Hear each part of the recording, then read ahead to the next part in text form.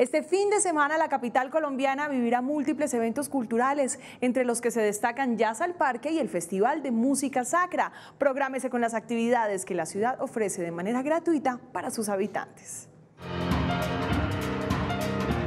Este año el festival se transforma en su propuesta musical para llegar a más públicos e invita a la ciudadanía a buscar su afinidad con el jazz bajo el lema Encuéntrate en el jazz, ven a Jazz al Parque.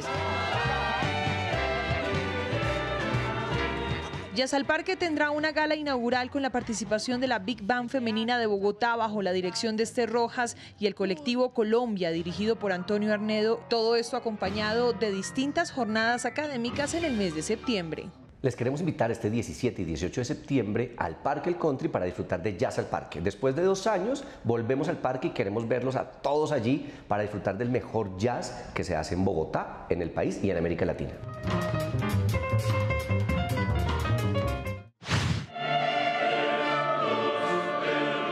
Por otro lado, los amantes del Festival de Música Sacra de Bogotá pueden disfrutar desde ya de su programación que se extenderá hasta el 9 de octubre.